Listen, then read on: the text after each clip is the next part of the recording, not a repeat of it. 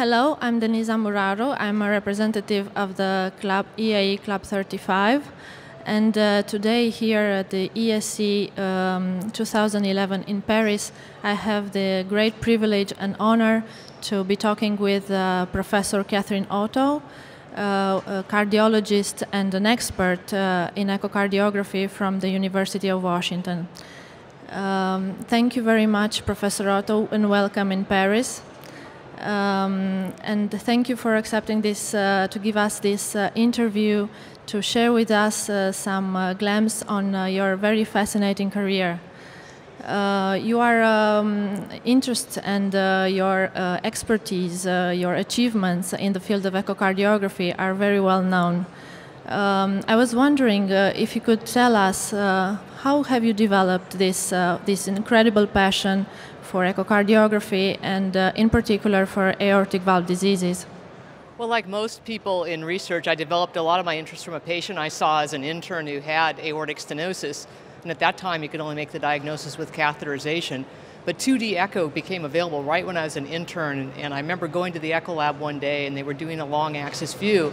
And I just looked at it and I said, those are the aortic, that's the valve. I can see the valve. And that was such an incredible experience that I began to think about my patient with valve disease and could I have diagnosed it better and then from there kind of how could I have prevented it and how could I treat a patient like that. So really from a patient experience. Sometimes learning uh, the very steps in performing echocardiography might be very fascinating for young uh, doctors. However, the first steps are not uh, quite easy sometimes. I was wondering, uh, had, uh, did you face uh, some challenges, some difficulties in your early period of training? Could you share with us some experiences that you have at first? Yeah, I think uh, it's, you know, these days there's a lot of materials and resources available for learning echocardiography, which is a great advantage. And when I was a, a trainee, there was Feigenbaum's echocardiography book, which I read, you know, in detail from cover to cover. But there was very little about Doppler because Doppler was new, so I really had to learn a lot of that on my own. I had to go to the engineering library, I had to go to physicists, I had to really kind of uh, learn a lot of the Doppler myself, and so that was a real challenge. And I think that the, the lesson is, is that whatever your challenges are, just find the information, talk to the people, and, and kind of forge ahead, even if you don't know. Uh, undoubtedly, you, you represent a role model for uh, the young generations. Uh, could you tell us, uh, in your opinion, which would be the main prerequisites uh, for having a successful career in echocardiography and more generally in cardiology? Is there any advice that you can give us uh, for the young? Yeah, I think it's the same advice of everybody for everything. Do what you like to do and you know give it your all, do your best. I think that people should do the part of cardiology that they're most passionate about, whether it be patient care, research, imaging, interventional. I think there's you know a role for all of us. It's a team, and I think if you follow your passion and do your very best, I think we all will be successful as a group. Is this the main message that you try to convey to your young fellows, your uh, people around uh, whom you work with in your lab?